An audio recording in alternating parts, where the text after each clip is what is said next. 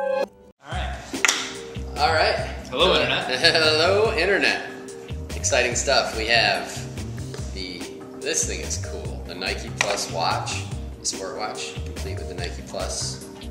I won't take it all apart because somebody's actually winning that today, and we already know who it is. We just went through our exhaustive process process. pulling all the votes because everybody that had for each vote they got entered one time. So um, really, there were two people that were really crushing Lori it. and Tom. Lori and Tom, yeah, you guys were crushing the votes. Lori had the most, so she got the most entries, and unfortunately, Lori, no, you won. You did. We uh, we just pulled the ticket, so congratulations. If you want to wear it in the Boilermaker, you need to get a hold of us right away, and we'll figure out a way to get it to you over the weekend. But uh, Yeah. we're looking forward to the Boilermaker.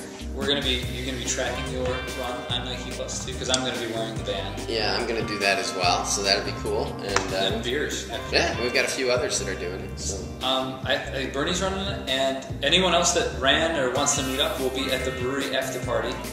Where? Uh, usually we go back towards Boilermaker Park, get get through the main crowd, and then over on like the opposite side from where the Polish Community Center is. We'll be there. So come and meet up and hang out and drink Saran. I'll be wearing an Erin Gall for Supreme Court Ah, running shirt, nice. one of our clients and a dear, dear friend. So uh, that, that's how you find me, and we'll probably be over, you know, at the beer truck. Yes. Cheers.